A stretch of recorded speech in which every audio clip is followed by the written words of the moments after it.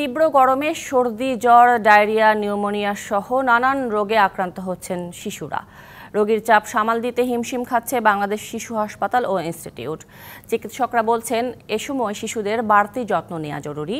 বিশেষ করে ঘেমে গেলে শুকনো কাপড় দিয়ে শরীর মুছে দিতে হবে। আর পরিবারের কারোর ঠান্ডা কাশি হলে মাস্ক, স্যানিটাইজার ব্যবহারের পরামর্শ তাদের।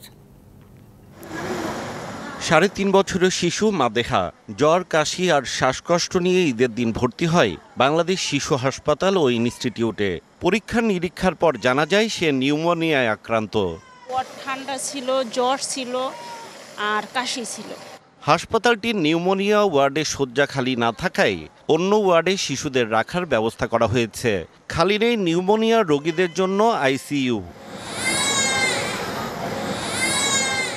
তীব্র গরমে সর্দি, জ্বর, ডায়রিয়া ও নিউমোনিয়ায় বেশি আক্রান্ত হচ্ছে শিশুরা। মঙ্গলবারই হাসপাতালটির বহির্বিভাগে চিকিৎসা নিতে এসেছে সাড়ে তিনশো শিশু। এর মধ্যে আড়াইশো জনের সর্দি, জ্বর আর ছিয়াত্তর জন নিউমোনিয়া আক্রান্ত। রোগী চাপ বেড়ে যাওয়ায় ভর্তি রেখে চিকিৎসা প্রয়োজন এমন অনেক শিশুকেই ফেরত পাঠাতে হচ্ছে কর্তৃপক্ষকে।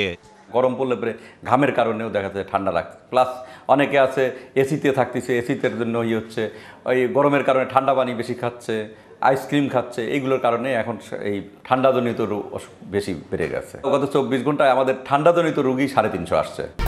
এক দুই তিন ঢাকায় জমি জিতে নিন একশো পার্সেন্ট ক্যাশব্যাক সহ বিশ কোটি টাকার পুরস্কার।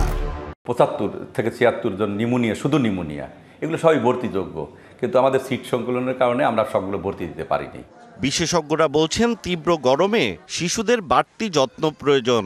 ঘামটা বারবার মুছে দেওয়া জামা বারবার চেঞ্জ করা ফ্লুইড বেশি খাওয়া এখন তো টেম্পারেচার অনেক বেশি। ফ্যামিলিতে কেউ যদি ইনফেক্টেড হয় কাশি টাশি হয় একটু কন্ট্যাক্টটা ইয়া করে রাখা, যতটুকু মাস্ক সামনাসামনি কাশি না দেওয়া, হাতটা ওয়াশ করে রাখা, এটা একটা প্রিভেনশন আর তিন চার দিনের বেশি যদি কাশি থাকে, তীব্রতা বেড়ে গেলে সাথে সাথে একটা নিকটস্থ ডাক্তারের কাছে শরণাপন্ন হতে হবে।